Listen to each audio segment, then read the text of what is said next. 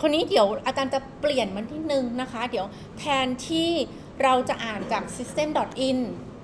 อาจารย์จะแปลงโค้ดให้อ่านจากไฟล์ เดี๋ยวคุณจะเข้าใจว่าทำไม Java มันถึงออกแบบแบบนี้ ถ้าอาจารย์อยากจะอ่านจากไฟล์เนี่ย อาจารย์จะเปลี่ยนแค่แบบแทบจะบรรทัดหรือ 2 บรรทัดเท่านั้นนะคะ อันนี้หน้าตัดหน้าตัดไปนะ ต่างกันตรงนี้ก็คือต่างตรงนี้ อาจารย์เปลี่ยนจาก input stream reader เป็น file reader นะเจ้าไฟล์ reader เนี่ยเออมันเป็นคลาสที่รับชื่อไฟล์เข้ามาเนาะแล้วก็ตรงนี้ก็เหมือนเดิมก็แปลงไฟล์เป็น buffer จะได้อ่านทีละบรรทัดได้ คุณก็ยังวน loop อะไรเหมือนเดิม เพียงแต่ว่าเปลี่ยนการเช็คนิดนึงก็คือแทนที่เราจะเช็คว่า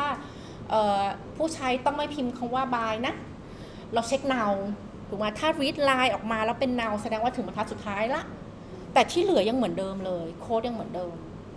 อันนี้ที่ทำให้การ ออกแบบโค้ดจาว่าแบบนี้มันทำให้โปรแกรมมันยืดหยุ่น อยากจะเปลี่ยน input นะคะโค้ดโค้ดไม่เปลี่ยนนะเราเปลี่ยนเปลี่ยนประเภท input ได้โค้ดไม่เปลี่ยนนะคะอ่าเดี๋ยวเพราะฉะนั้นเดี๋ยวจะมาลองกันนะอันนี้อาจารย์ก็จะก๊อปแปะเป็นตัวอย่างที่4เนาะก็คือเป็นโค้ดเดิมเลยอาจารย์ก็จะเปลี่ยนมานิดนึงนะคะ ก็คือเปลี่ยนตรงนี้เป็นไฟล์ reader นะมีไฟล์ reader นะคะตรงนี้ก็เป็นไฟล์ reader นะคะ ตรงนี้ก็จะเป็นชื่อไฟล์ อาจารย์ใส่ data.text นะคะ คราวนี้เจ้า data.text อยู่ที่ไหน ถ้าคุณใส่ data.text อยู่เฉยๆเนี่ยถ้าคุณใช้ IntelliJ มันจะต้องอยู่ใน top level ก็คือจะต้องอยู่ในระดับเดียวกันกับ source นะคะ ก็คือคุณมา new ที่นี่เลย เดี๋ยวมา new new ตรง project นะคะ new file แล้วก็ตั้งชื่อเดียวกัน data.text เนาะตรงนี้ลองใส่อะไรไปกระดาษ เช่น cat dog นึกอะไรไม่ออก มีแต่สัตว์นะคะ rabbit นะคะสัตว์สัตว์สัตว์สามชนิดเนาะอ่ากลับมาดูที่โค้ดนะคะอะก็อ่านไฟล์คนนี้สิ่งที่เปลี่ยนก็คือตรงนี้ที่เราจะเปลี่ยน ก็คือไม่ต้องใส่บายละเราแค่ดูว่า Data ต้องไม่เท่ากับเน่าอันนี้ใช้ใช้รับเท่ากับได้นะถ้าเกิดเทียบกับเน่านะคะอะเดี๋ยวาแล้วนะ เปลี่ยนนิดเดียวนี่ไงได้ละ cat dog rabbit นะคะ อันนี้ก็คือเราเปลี่ยนเจ้า input นะคะจาก system.in เป็นไฟล์ reader แค่นั้นเราก็เปลี่ยนตรงนี้ แล้วเราก็อ่านข้อมูลได้ละนะคะอ่าโปรแกรมยืดหยุ่นมากอ่าให้ให้ดูตรงนี้ต่อนิดนึง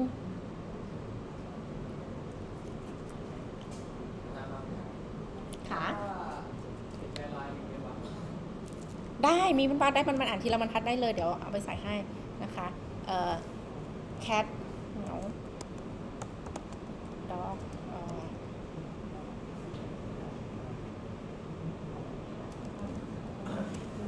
แล้วบิดมาลงอะไร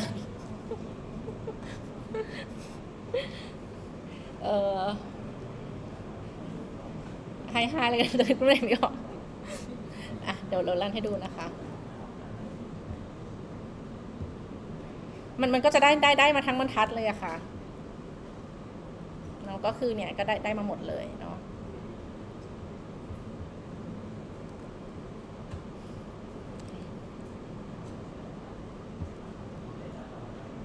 โอเคไอ้เนาะ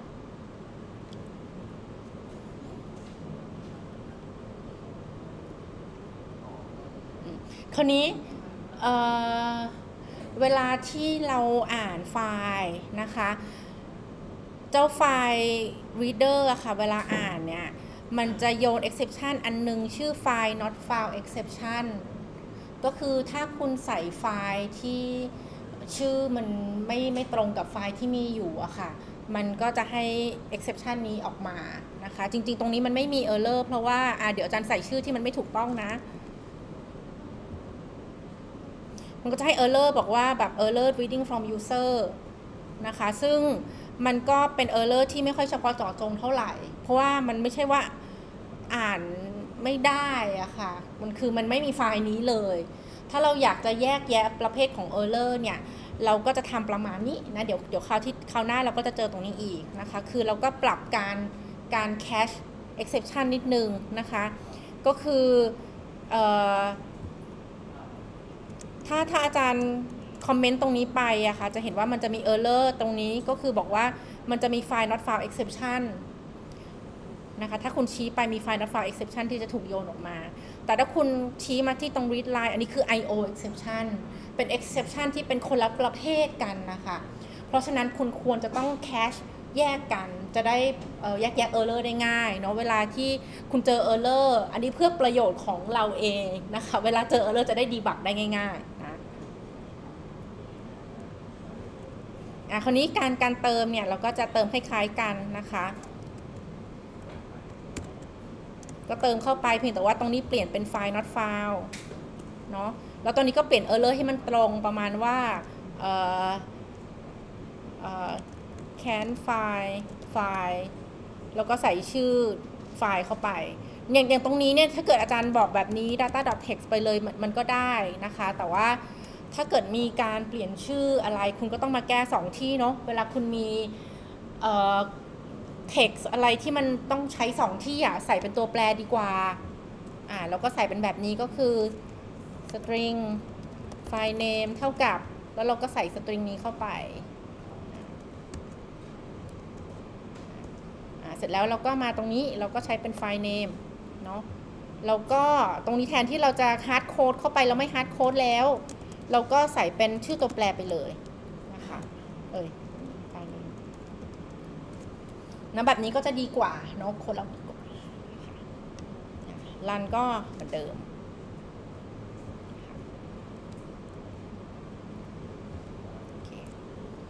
คนนี้ปกติเวลาที่เราอ่านข้อมูลถ้าเป็นสตริงก็เอามาใช้ได้ง่ายนะคะ แต่ว่าถ้าเกิดอ่านข้อมูลแล้วมันเป็นตัวเลขล่ะทำยังไง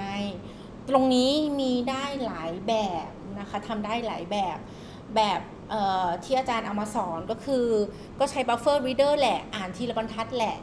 เพียงแต่ว่าถ้าเกิดมันมันมีเป็นตัวเลขอะค่ะ เราก็แค่เหมือนแปลงสตริงเป็นตัวเลขแล้วเอาตัวเลขไปใช้นะคะนั่นคือแบบที่ 1 แบบที่ 2 ก็คือมันจะมีคลาสชื่อ data input stream นะคะ data input stream เนี่ย มันก็จะอ่านเป็นเป็นตัวเลขมาได้เลยนะคะ data input stream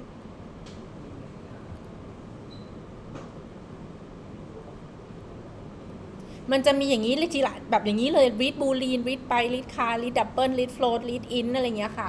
มีมีรีดไลน์ด้วยอาอันนี้ไม่มีแล้วให้ไปใช้อย่างอื่นนะคะเเพราะมันมีรีสตริงแล้วไง อันนี้ก็เป็นอีกคลาสหนึ่งที่เหมาะสมถ้าเกิด คุณจะอ่านแบบทีละชิ้นทีละชิ้นนะคะ อันนี้ก็เป็นอีกอันหนึ่งเนาะแต่อันนี้อาจารย์เอาเป็น buffered reader มามาให้ดูนะคะ เพราะว่าบางทีหลายครั้งอะ่ะเราอาจจะอ่านมาทีบรรทัดเลยทีละบรรทัดเลยแล้วเราค่อยมาประมวลผลเองทีหลังเนาะอาจารย์ทำแบบนั้น ที่อื่นอย่างอื่นเนาะเราอาจารย์ให้ resource เราไปละนั้นไปหาเองแล้วลองเล่นเองเพิ่มเติมนะคะแล้วมีมีเวลาน้อยสอนทุกอย่างไม่ได้ อะคนนี้แล้วถ้าเกิดสมมติว่าคุณอยากจะจะอ่านตัวเลขทำยังไงนะคะ ก็จะจะทำในในลักษณะนี้ก็คือ พอคุณอ่านมาแล้ว read line มาแล้วเนาะสิ่งที่คุณทำก็คือ เราจะเอาเเรียกเมธอดที่ชื่อว่า integer.parseInt integer pass in integer pass in เนี่ยมันจะรับสตริงเข้ามาแล้วแปลงเป็น integer อ่าจริงเหรออ่าไปไปพิสูจน์นะคะ ก็คืออกลับมาที่ที่นี่นะมัน integer อร์อยู่ใน java ดอทแรงเนาะใน java ดอทแรงนะคะ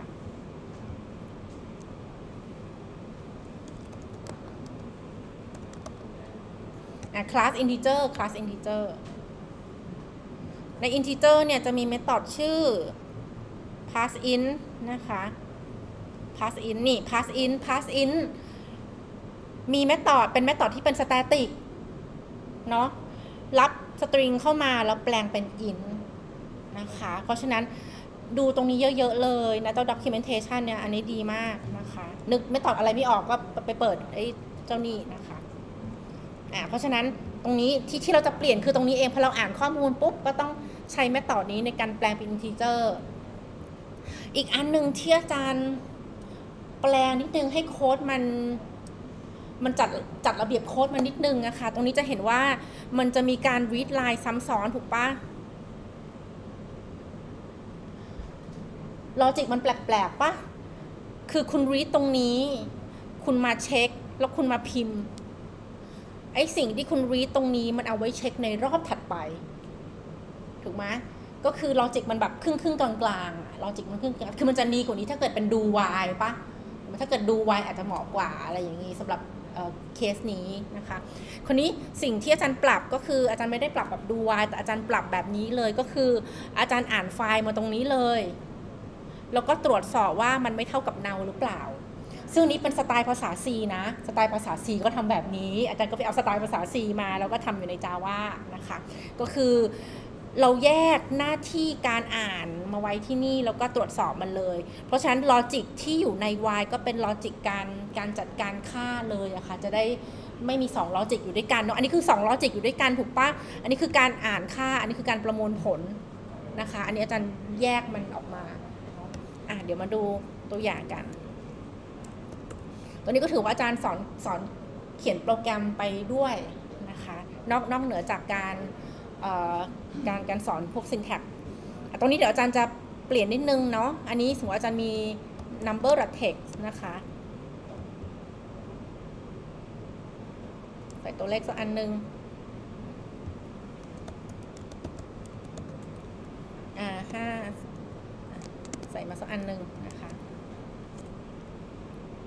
อะตัวนี้ก็เป็นตัวเลขละคราวนี้พออ่านมา ตรงนี้อาจารย์ก็จะแปลงนิดนึงก็คือ อาจารย์ก็ประกาศ Data ไว้นะคะ แต่ตรง buffer read line ตรงเนี้ยอาจารย์ก็มาวงเล็บตรงนี้นิดนึง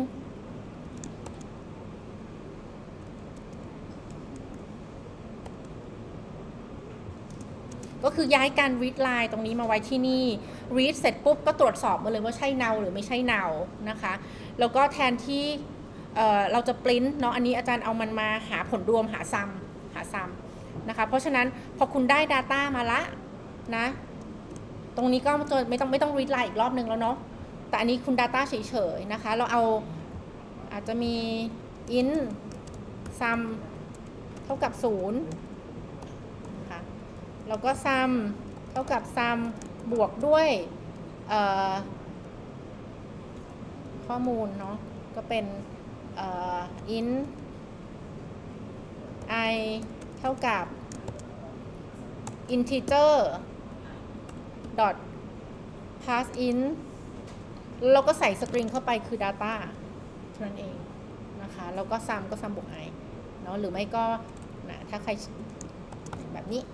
ให้มันกระชับขึ้นนะคะอะคราวนี้เดี๋ยวอาจารย์จะยังไม่ปริ้นตรงนี้ปริ้นทีเดียวเลยที่นี่อะปริ้นปริ้นก็ได้จะได้รู้มันอะไร แล้วก็มาปริ้นตรงนี้อีกรอบนึง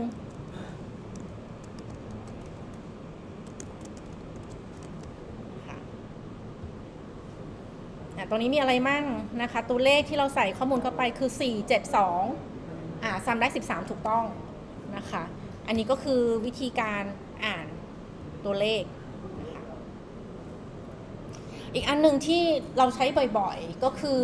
ตัวข้อมูลที่เราเก็บในไฟล์เนี่ย มันอาจจะ เอาไว้ใช้ในการในการ new object อะไรสักอันหนึ่งนะคะ ซึ่ง object หนึ่งหนึ่งเนี่ยก็จะประกอบด้วยข้อมูลหลาย ๆ ชิ้นถูกไหมอย่างเช่น ถ้าเป็นข้อมูลเกี่ยวกับร้านอาหาร ก็อาจจะมีชื่อร้านอาหาร ประเภทของร้านอาหารว่าเป็นร้านอาหารแบบไหน อยู่แถวไหน แล้วอาจจะมีเรตติ้งอยู่ในนั้นนะคะ ซึ่งอันนี้ก็คือเหมือนเป็น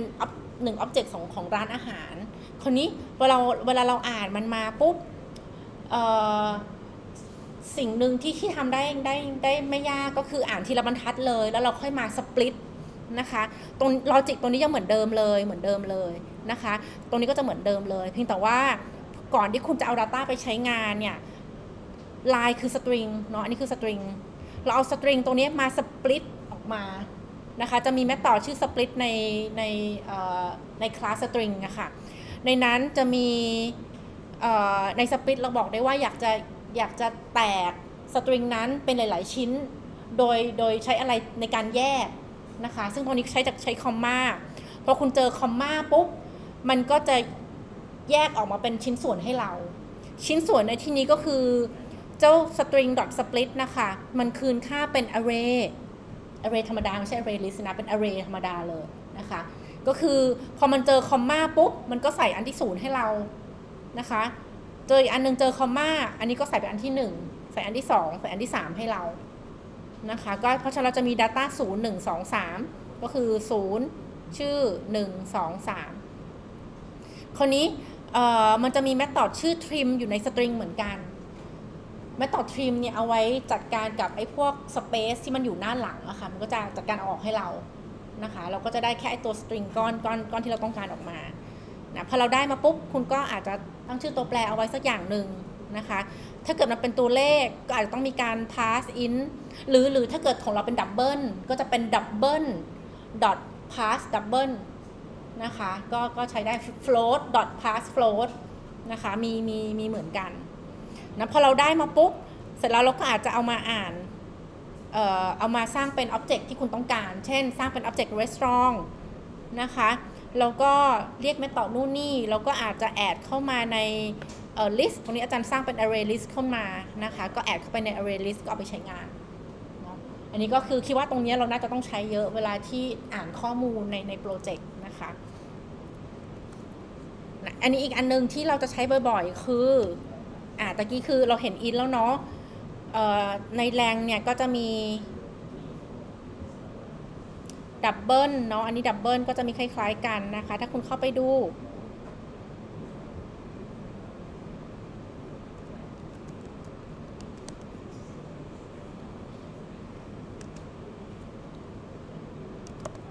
นะก็จะมี parse double เหมือนกันเป๊ะเลยนะใช้ได้ถ้าใครต้องการเป็นตัวเป็นดับเบิลนะคะ แล้วก็เดี๋ยวเราจะมี class string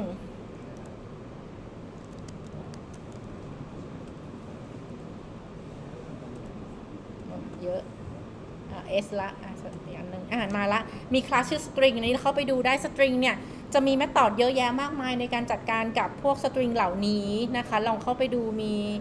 เยอะมากนะคะ concatenate เนาะ contain ดูว่า string นี้มี sub string อะไรอยู่ในนั้นอะไรประมาณนี้นะคะ equal equal ignore case เมื่อกี้ที่เราใช้สามารถที่จะ format string ได้นะคะหาได้ว่าตัวอักษร i อะมีอยู่หรือเปล่ามีอยู่ตรง character ตรงตรง index ไหนอะไรอย่างเงี้ยค่ะ พวกนี้เป็น method ที่มีประโยชน์มาก ๆ เนาะที่เราใช้ก็คือ split split นี่ split นะคะก็คือ split ปุ๊บคุณก็ใส่ว่าคุณอยากจะให้มัน split จากโดยดูจากอะไรอะค่ะ แล้วเราก็จะได้เป็นเป็น array ออกมาเนาะโอเค งั้นเดี๋ยวเราจะมาแปลงอันนี้กัน example ที่ 6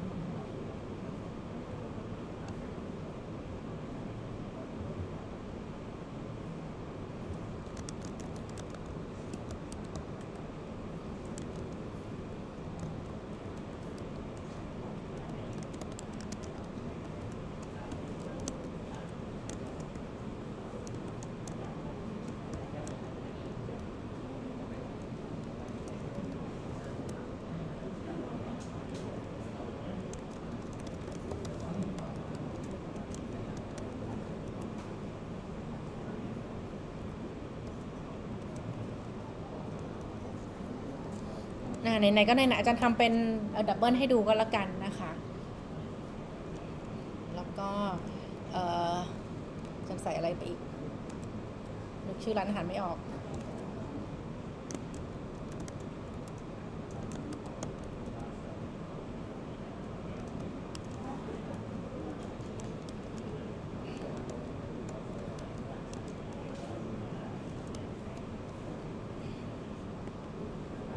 อะไรประมาณนี้นะคะอาจารย์ก็มั่วๆข้อมูลออกมาเนาะคราวนี้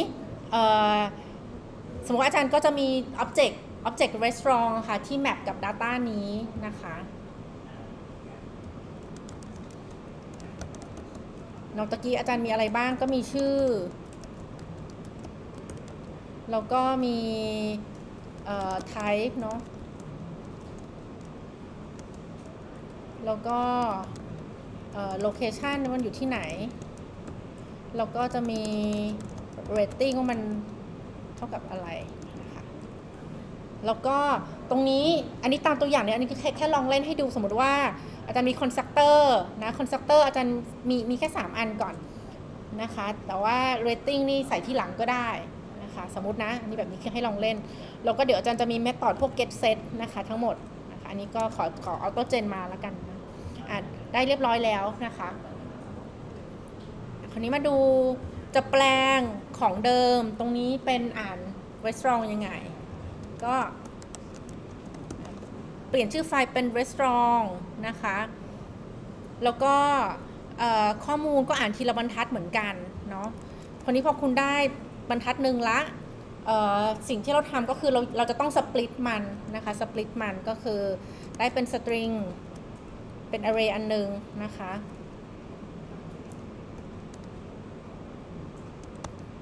ก็เป็น Data ที่เป็นชิ้นๆ ใช้เป็น Element ก็ได้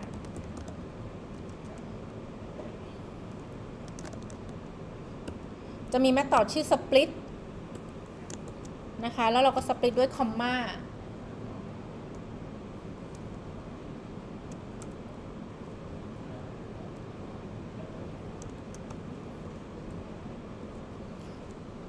แล้วก็ตรงนี้ถ้าถ้าเขียนเหมือนในโค้ดก็ได้เนาะเราเราก็แยกมาทีละชิ้นก็ได้นะคะ ตรงนี้ตรงจริง ๆ โค้ดนี้ดีกว่า เราจะได้รู้ว่าโค้ดแต่ละชิ้นที่ที่เรา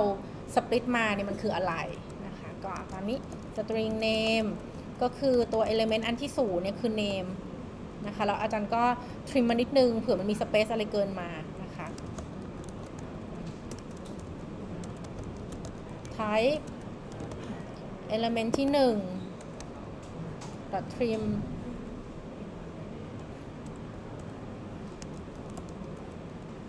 location 2 ดอท trim แล้วก็ เอ่อ double ratingเท่ากับเอ่อ double dot parse double นะคะ อันนี้จะมี parse double เหมือนกัน ตรงนี้อาจารย์ใส่เป็น ตัว element ที่ 3กับ trim นะคะแล้วคืออาจารย์เอา object นี้ แล้วก็ pass มันก่อนที่จะ assign ค่า จากตรงนี้คุณก็สามารถที่จะไป new object ที่คุณต้องการได้ละตอนนี้มันจะใส่เป็น name type แล้วก็ location เข้าไป ส่วนตัว rating อันนี้คือแค่แค่ simulate ให้ดูว่าเออเราเราก็สามารถที่จะเรียกมาต่อโน่นนี่ที่นี่ได้ นะคะอันนี้ก็ได้ object มาหนึ่งก้อนละถ้าคุณอยากจะได้เป็น list คุณก็สามารถที่จะประกาศ list ไว้ข้างบนก่อนก็ได้นะคะ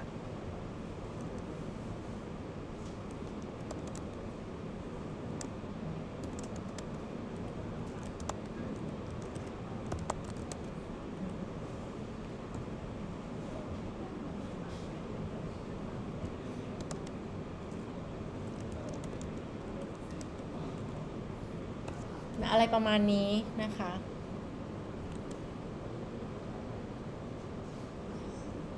อันนี้ก็ได้ข้อมูลละนะคะเนื่องจากอาจารย์ไม่ไม่ได้ปริ้นอะไร เดี๋ยวอาจารย์ปริ้นปริ้นมาให้ดูก็ได้เดี๋ยวเดี๋ยวมาเพิ่ม to string ที่นี่นะคะ ตรงนี้เรารู้เนาะเรามา to string ที่นี่เลยก็ได้ให้ให้มันให้มันออโตเจนมาให้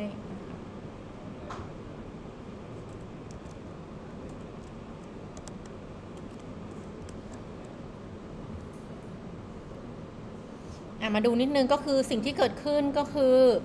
เอเดี๋ยวเอาเอาอันนี้ออกนิดนึง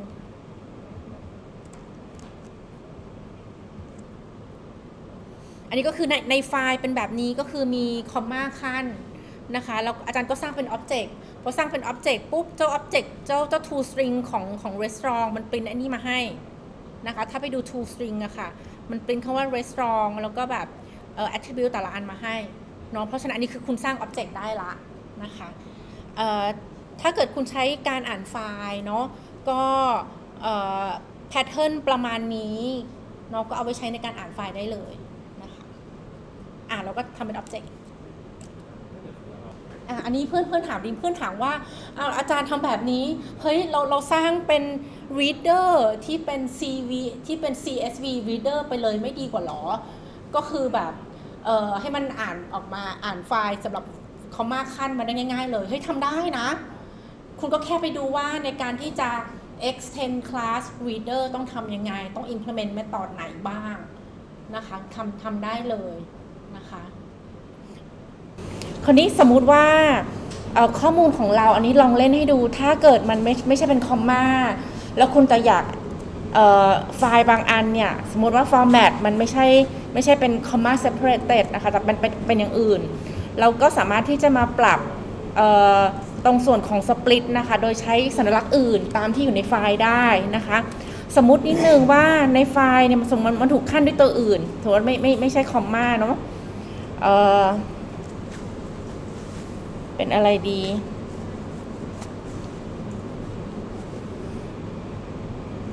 ถ้าเกิดเป็นตัวอื่น ๆนะคะ เช่นอสมมติว่ามันมันมันขั้นด้วยเครื่องหมายลบอะเดี๋ยวแป๊บนึงนะเครื่องหมายลบเดี๋ยวลองดูกัน